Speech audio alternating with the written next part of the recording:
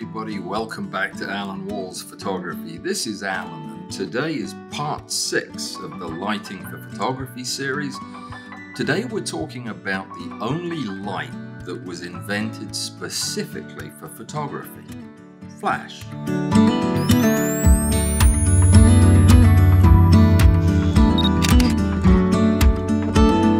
My last video, you probably heard me make reference to the fact I've only ever delivered one baby. Well, that baby was born 28 years ago today, and her name is Nicola, and she's my youngest daughter, and this episode is for her. She doesn't watch the uh, videos, so she won't ever know about it, but it is for her anyway. And uh, not only did I deliver her 28 years ago, but I was born myself 34 years before that, also today. So it's a happy day, a double birthday. Let's talk about Flash. Unsurprisingly, Flash is a very big subject. I've decided to cover this in two videos. In the first video, we're going to talk about the history of Flash, the science of Flash, the difference between speed lights and studio lights. Then we're going to get into the confusing subject of flash power. In the second video, we're going to look at flash duration, TTL versus manual, how we synchronize flash with our cameras. We'll look at macro, modifiers, a few tips on how to use flash, and some on how to buy flash. Before we get started, a huge thank you to my Patreon supporters as always. I couldn't be doing this if it were not for you, and that also includes you find people who have made a, a generous contribution through the website. The links for that type of thing are down below. If you want more information about the equipment that we talk about today, you can find that in my blog post, and uh, I will put a link to my blog in the show notes below. So, what exactly is Flash? Well, it's kind of obvious a bright flash of light that allows us to do three things. It allows us to put light in dark places, it allows us to freeze motion, and it allows us to control contrast. And it does all of those things without burning us to death. But flash was not always like that. Let me explain. Flash is the only source of light that we have talked about in this entire series that was created specifically for photography. Now, it's used for other things, like uh, it's used for pumping power uh, into lasers uh, to get them all excited. Uh, but uh, outside of science, uh, it's really only used by consumers in photography. Now, the first mention of anything even like flash uh, was way back in 1839 when some French dudes were digging up fossils in a cave and wanted to take pictures of them.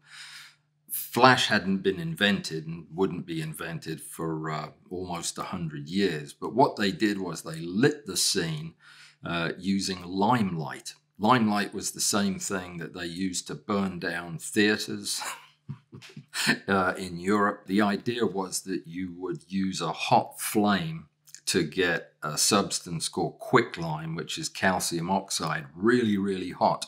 When it got to a certain temperature, it would it would give off this very uh, high intensity white light. Of course, that's a very dangerous way to do things, but that's how they took this first set of daguerreotypes of the fossils.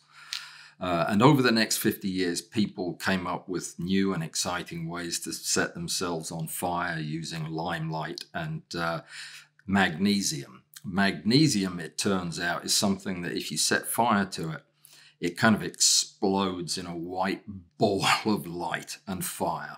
Over the course of the next 50 years, magnesium, uh, which had been discovered to be a great source of bright white light when you set fire to it, uh, had been experimented with fairly extensively, but it was incredibly expensive because it was so hard to get out of the ground. Uh, but over that next 50 years, uh, a lot of processes were improved, and eventually the price of magnesium came way down until in 1887, a couple of German guys, uh, Adolf Miethe and Johannes Gaedicke, invented this amazing powdery substance called Blitzlichtpulver which is like lightning flash explosive. powder, something like that. They made this stuff into sheets and into powders. They even stuffed explosive tea bags with the with the material. I'm sure you've seen pictures of people with a little tray of uh, Blitzlichtpulver getting set on fire so they can take a photograph. So they were responsible probably for quite a few immolations as well, but it really made a big difference. It was much better than any of the, the limelight uh, options ever had been before, and it really started to catch on, but not in a huge way because of the fact that you know half the people who used it burned to death. So that held people back. So this Blitzlichtpulver was uh, a, a, really cool substance. It was made of powdered magnesium mixed with potassium chromate. And uh, when ignited, it gave off a really bright flash of light. But as time went by, new ideas were uh, invented uh, all along the way, and most of them involved the use of magnesium.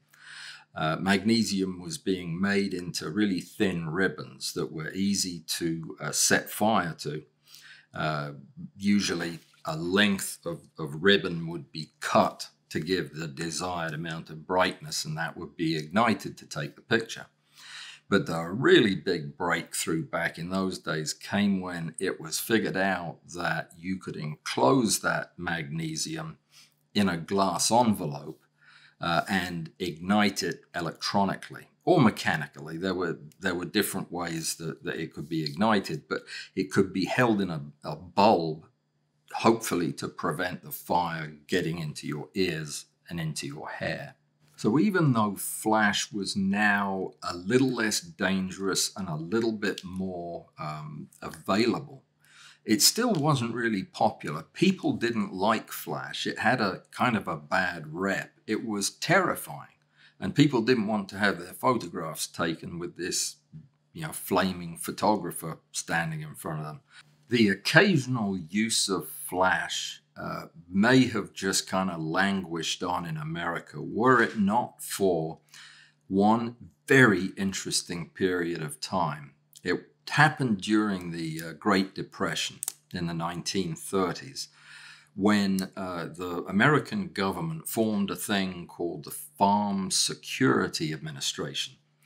And the uh, FSA hired 11 photographers, including the now very famous Dorothea Lange, uh, who were given cameras and flash equipment and went out to document the, uh, the the terrible conditions across the country during the Great Depression. And their photographs are, in so many ways, iconic. Dorothea Lange, by the way, was the lady who uh, took the photograph Migrant Mother that uh, I'm sure everybody on the planet has seen. These are some wonderful photographs.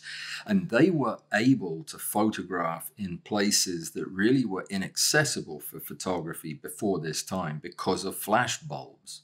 Flashbulbs were very quickly adopted by people using cameras as tools, uh, especially police photographers, crime scene photographers, press photographers who were working at night, working in shady parts of big cities and needed some kind of portable light source. So these flash bulbs were uh, in great demand by press photographers uh, in the 30s and 40s. In a way, though, it cemented the negative feelings that the public had towards flash photography, something that wasn't helped in the following decades by uh, the, the growth of the paparazzi. But it still was um, it still was a, a, form of light that yielded kind of stark, harsh photographs, usually of uh, places and situations that, that struck fear into people's hearts. Uh, so the only flash photography that you were likely to see was in the newspaper, and it probably had a dead body in it. So uh, flash uh, again was not catching on with with uh, regular photographers until things changed with the flash bulbs, and they went from being uh, gigantic. globes that were very expensive and required heavy equipment to use to the types of flash bulbs that became popular in the 50s and 60s. These were the tiny little flash bulbs that you've seen, uh, uh, either assembled in cubes so that you would have four flashes for every cube, or sometimes in strips. If you remember the flip strip that used to have uh, uh 10 or a dozen flash bulbs in a row, and you take six pictures and flip it over and take another six. Uh, what made those so user friendly for people was that they didn't have to change the flash bulbs uh, uh, that often, and the uh, the bulbs had a new coating. Um, they, if you remember, they had a bluish look. That was because a plastic coating was put on the outside of them that stopped the bulbs from occasionally exploding. It kind of held the glass together uh, when they would otherwise have exploded, and it also um, added um, a, a, bluish cast to the photograph. And if you look back at any flash photographs from back in those days, uh, they all have a very uh, a very typical flash look, and that was because of of these inexpensive flash bulbs. But it was work that was being done in the late 50s and early 60s by a real pioneer of uh, flash, a guy named Harold Edgerton. Uh, he was working with high speed flash, and I'm sure you've also seen his iconic photographs of bullets passing through apples or uh, decks of cards. Uh, he uh, pioneered the use of really high speed flash photography. And indeed, uh, in 1931, he invented the first electronic flash device for photography. It was kind of big and uh, dangerous and heavy, and uh, they weren't made much use of until the 50s. In the 50s, people were starting to buy the slightly less expensive studio lights uh, that were electronic and built along much the same lines they are today. But these things were enormous. They ran off uh, multiple 12 volt lead acid batteries. Um, and the equipment was just uh, daunting to use. And they were really, really expensive. Uh, so they weren't used that much. But of course, as happens over the 70 years that followed, the science both of, of the flash device as well as cameras and computers just moved ahead by leaps and bounds. But the big shift from flash bulbs to electronic flash happened uh, a good 40 years after Harold invented the first electronic flash. And that was when smaller, more compact flashes, still mostly used in the studio and still very expensive, but they became uh, more affordable to operate and to use than buying an endless stream of flash bulbs. Allow me a brief anecdote. When I was 13, I had come across a book all about a German physicist, chemist named uh, uh, Robert Bunsen. Robert Bunsen was the guy that invented the Bunsen burner, and his scientific experiments all consisted of setting fire to things. And somewhere in there, I read about the amazing uh, characteristics of magnesium as it burns. And I I don't know where I heard this, but uh, somebody must have told me that pencil sharpeners back in those days were they they look like they're made of uh, aluminium, but they're very light and they have a steel blade screwed into them. But they're metal, and you'd put your pencil in and twist it. They look the same now, but believe me, they aren't, because these things were made of a magnesium alloy back then. And I put one of those things on a, a, stand, a Bunsen burner stand, and put a Bunsen burner under it. And I put the the flame up high to see what would happen to the pencil sharpener. Well, it caught fire and it burned right through the desk in the chemistry lab that I was sitting at. And it caused a fair amount of uproar at the school, I can tell you. And uh, you couldn't put it out. Uh, they tried putting it out with buckets of water and all kinds of things. It just kept burning, burned a hole in through the desk and a big divot in the floor underneath. That was fun. Those days were fun. I got in so much trouble. So, what is an electronic flash itself? Well, at their heart, they all have the same DNA. Whether it's a pop up flash on a, a camera, a speed light, or a, a big studio light, they all operate the same way. They have two key components, and it's much, much more complicated than this, but basically, they have a capacitor, which is an electronic component capable of storing charge, a large amount of, of charge, and is also capable of releasing that very quickly into a circuit. Now, the second component is what's called the flash tube, which is usually a quartz glass tube filled with xenon gas, which is a noble gas, and it has electrodes at one end and the other. And those two electrodes are connected to the capacitor. Now, normally, there's a huge gap between the electrodes, and the capacitor is not going to be able to, to discharge across that gap. So, what has to happen is the xenon in the quartz tube has to form ions, it has to be ionized. Once it's ionized, all of a sudden the current can pass between the electrodes, and it does so blindingly fast.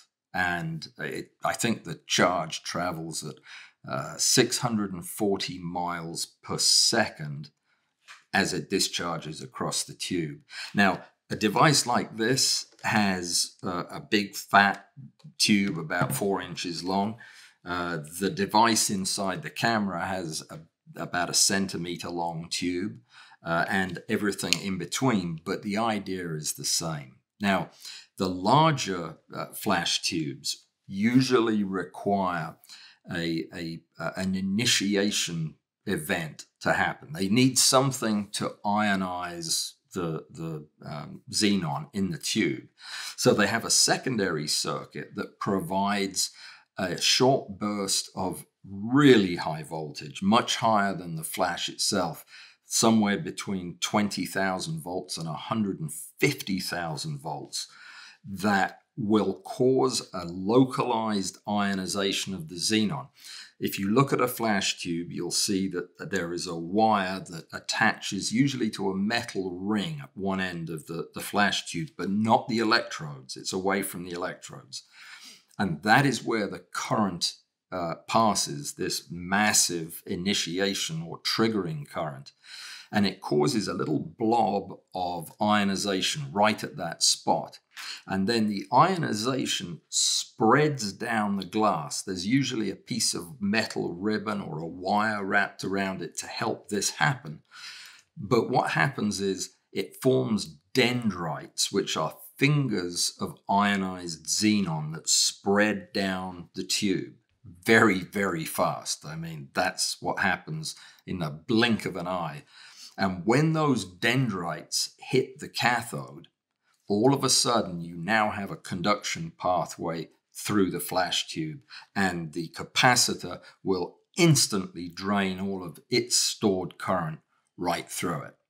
Now, even though the capacitors may only be 330 microfarads, most usually they are, and they may only hold about 330 volts, the way the, the capacitor is designed, the current density of the, the, the shock that it delivers either to the flash tube or to you, if you short it out with yourself, uh, is enough to kill you, absolutely kill you. In fact, one of the one of the ways people get hurt or killed by messing around with with uh, uh, speed lights, for example, is they'll have the thing opened up and they'll get a shock from the from the triggering circuitry, which is enough to give you a bad fright and uh, a nasty shock. It's not enough to kill you. But when you spasm and, and freak out with the first shock is when you inadvertently touch your screwdriver to the real problem, the capacitor, and then you die. So, so they're really dangerous. Don't open one. Don't open one. It's not worth it. I'm going to. Uh, I might even do a video of it because um, uh, one of my one of my Godoxes is broken, and I'm going to try to replace the flash tube in it. But anyway, that's that's uh, another matter. So you may be wondering what kind of color spectrum does a flash tube give off its light in? Because as we talked about, light is just energy and it exists in, in all these different wavelengths across the visible spectrum and down into infrared and up into ultraviolet. And all of the light sources we've talked about have a representative uh, uh, spectrum showing the wavelengths of the light that's produced. Well, the wavelengths of light that are produced in a flash tube, a xenon flash tube, are entirely dependent and uh, very closely tied to the current in the tube. So the way the, the energy in the flash tube is measured is using something called current density. Current density is the number of amps within a square centimeter uh, of space. And at high current densities of like 400 amps uh, per uh, square centimeter, the flash tubes give off an incredibly even full spectrum light. Actually, it's more than full spectrum visible light because there's a lot of ultraviolet in it as well. I'll get to that in just a second.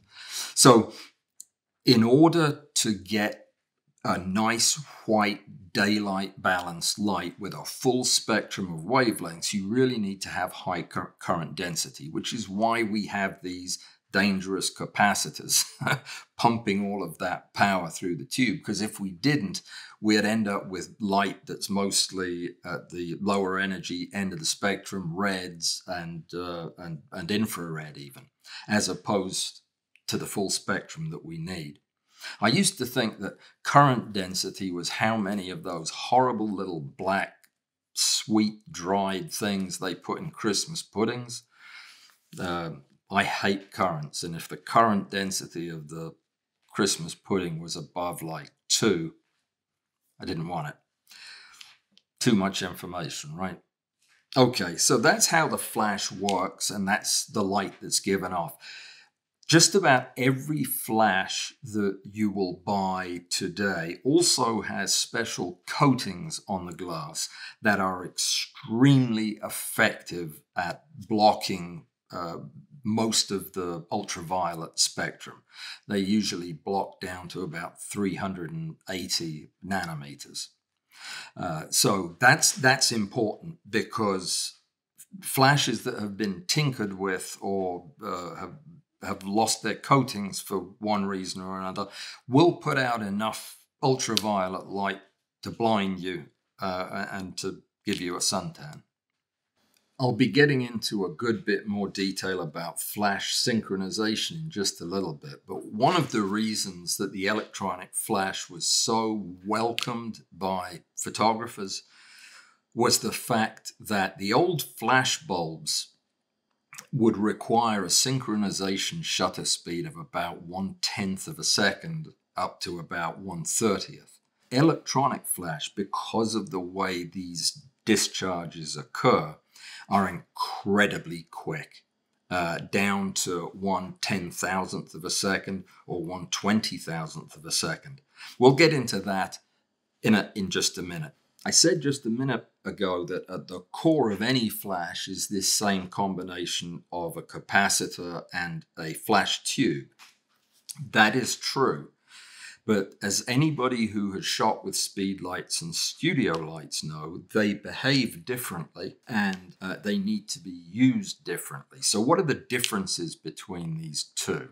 There are two different ways that you can vary the amount of power that the flash puts out, and it's based on how the capacitor is handled. So with a studio strobe, when you set the power to a lower number, what you are doing is restricting the uh, voltage that is held in the capacitor.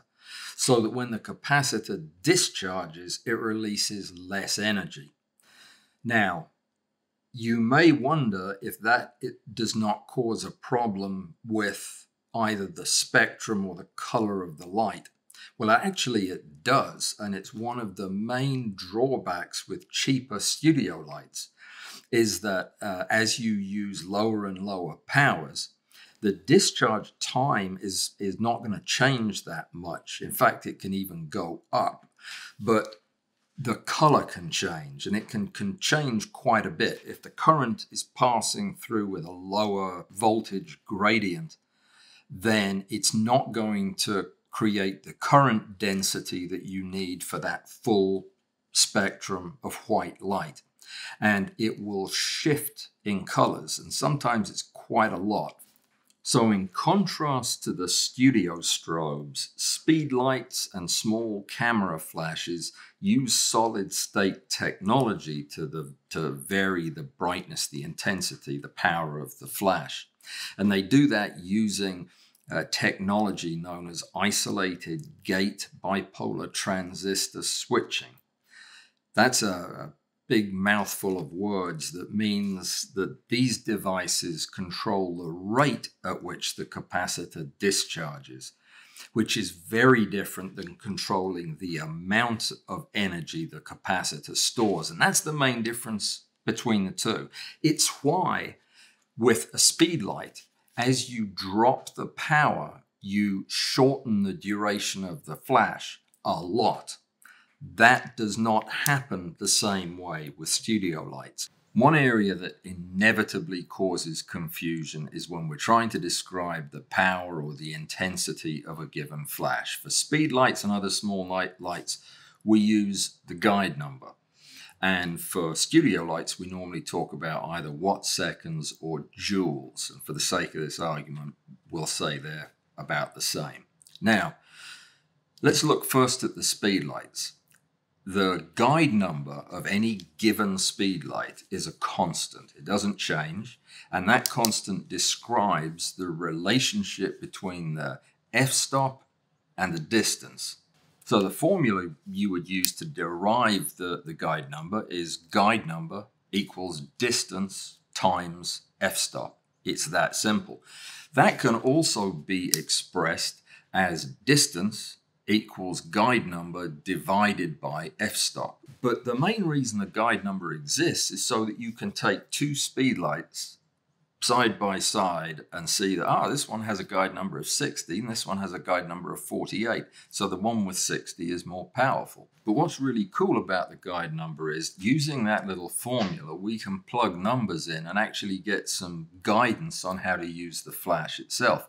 Let's say we wanted to take a photograph with this flash, but we wanted for creative purposes to set the aperture on our camera at f4. Well, we know the guide number is 60 because that's a, a fixed constant. So 60, the guide number, equals distance, which we're trying to figure out, so that remains unknown, times 4.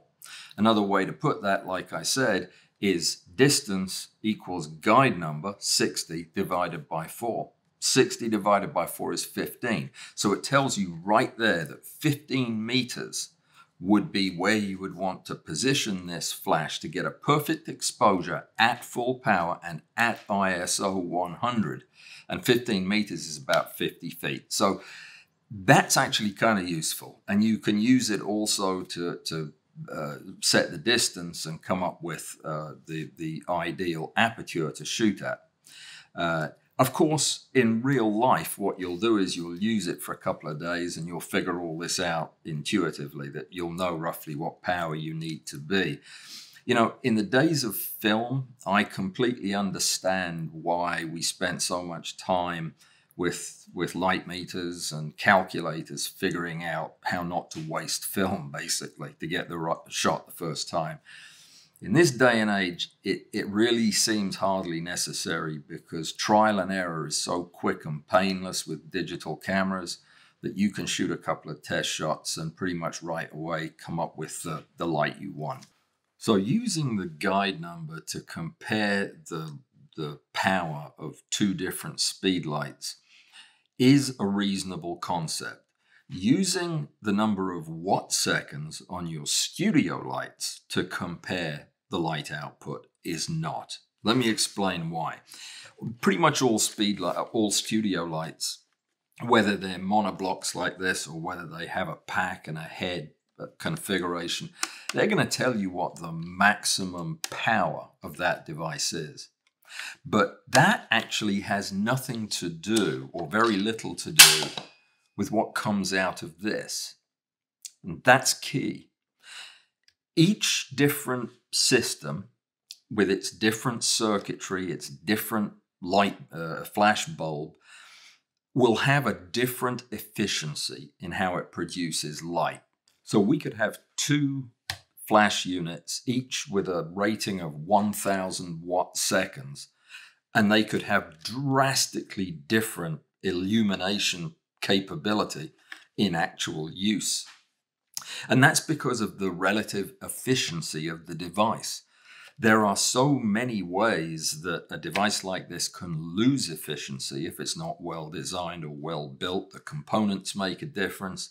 The way it's put together makes a difference. The flash bulb, the gas inside, the coatings, all of this makes a difference. Not to mention the reflector you put on it. Uh, all of this will change how much light one of these things gives off. So the watt second rating is really a lot less helpful than it sounds. If you want to know exactly how much light a given studio light is putting off, just set it up in the studio where you're going to, uh, to set the light. Put your subject where you're going to put your subject, and then use a light meter like this Sekonic, which will fire the flashes for me, and just pop the flashes and take a reading. It'll give a reading in an f stop, and that f stop is telling you this is how wide open your aperture has to be to expose this shot perfectly at full power on the on the light. So you can use a light meter to get a very good understanding of how much light your device gives off at full power. And then you can make your calculations and set up your shots on the basis of that information but it's not very useful for uh, comparing devices because unlike the guide number, which actually does compare a, a, a set of parameters, the uh, studio lights don't give you that, and the, the watt seconds can be misleading. What you definitely don't want to do is make a decision on which studio light to buy based on the number of watt seconds it has stamped on the box. Older and cheaper studio flashes will generally have a lot less light per watt second. But if you want to know how much, you have to go to, to testing data and look and see what people have actually found. Let's talk for just a minute about the power increments on both the speed lights and the studio lights. So the way we describe the power output of a speed light is using fractions. 1 over 1 is full power, 1 over 2 is half that power, 1 over 4 is half again, 1 over 8 half again. So it's halvings going down, doublings going up. And it doesn't tell you anything about the intensity of the flash except as it relates to the levels above and below it. Bear in mind whether you're using speedlights or studio flashes, that the inverse square law uh, comes into play whenever you're moving lights closer or further away. Remember that every doubling or halving of the distance between the subject and the light is a multiplier of four in terms of the light intensity. In other words, if you move twice as far away, you have one fourth the amount of photons hitting your subject. And conversely, as you move half the distance towards the light, the light intensity is going to go up by a factor of four. So that's important to bear in mind as you're, you're moving the lights around. Earlier, I briefly mentioned the different way that the power is handled by speedlights and by studio lights, that is tending to go away. Most of the really good studio lights these days are digital, which means they're using these isolated gate bipolar transistor switching systems to be able to accomplish the same kind of flexibility you get from a speed light. The older, cheaper uh, studio lights, the problem is usually that you can't get it dim enough. You can't dial the power back enough. That's something that you really need to have the IGBT technology to do. So modern speed lights will usually give you nine or 10 stops of, of, of light, meaning that there are 10 doublings before you run out of room.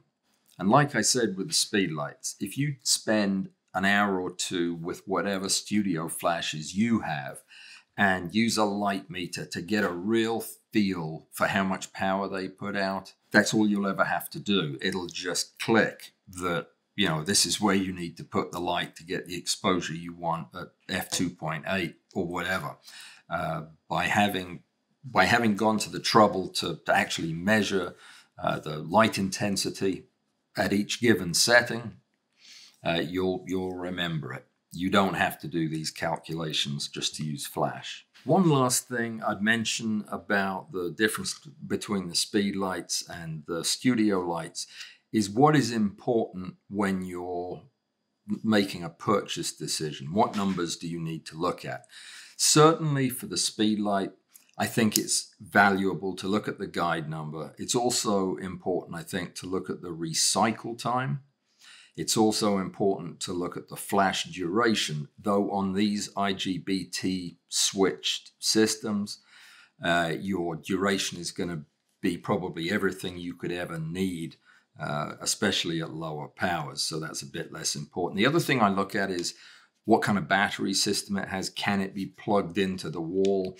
Uh, I, I have become a real fan of the uh, lithium ion packs that they put in these uh, new Godox flashes and a lot of other flashes. They just last forever uh, and whether or not the device zooms. That's kind of important too, because a lot of these newer flashes will actually allow you to narrow the beam of light to give you more reach. The stuff you need to look at when you're buying a studio light, uh, it's it's a little more complicated, um, and I'm not kidding when I say probably the most important number is the price. Look at the watt seconds because that will give you some ballpark idea of, you can assume that the more expensive lights are going to be highly efficient. The more efficient the light is, the more meaningful the watt seconds are. The other crucial thing you need to look at when you're thinking about a studio light is how low can it go. So you want something that gives you a large number of stops. The better, newer, digital devices will let you get down to 1 256th power. If you're planning on using studio lights in macro in the studio, I really strongly urge you to get uh, better lights, expensive lights that give you a nice, consistent low power. Virtually all new Flash has built in Wi Fi, so you're going to need to plan on getting an appropriate trigger to run all of your stuff. While everything that I've just said is pretty true and has been pretty true in the past, things are changing really fast. Speed lights are getting a lot more powerful, and uh, the, the color consistency of the devices is improving all the time. Likewise, with uh, studio lights, they're getting a lot more sophisticated. They use uh, they use almost exclusively digital technology now, so they're able to give both incredible color constancy as well as very short flash durations. So really, the two forms of flash are starting to grow towards one another.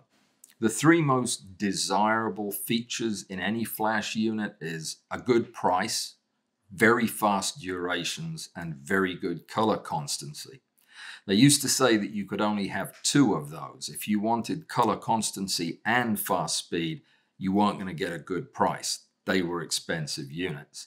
But that seems to be changing as uh, studio lights are adopting uh, digital technology. They're becoming a lot more like big, powerful speed lights. And even speed lights are getting more and more powerful and becoming a lot more like small studio lights. So my hope is that one day in the near future, we'll be able to buy fantastic flash equipment with great color constancy, fantastic flash durations, and all of that flexibility and a reasonable price. We're not there yet. I think that's enough for part one. I'll be back in a few days with part two, where we will pick up where we left off, talking about flash duration, synchronization, TTL, macro, modifiers, a buying guide, and I'll sing a song or something to round it all out. So I'll be back in a few days with that. Thanks for joining me. I hope you found something useful in this video, and I will see you soon. Don't forget to subscribe. Bye-bye.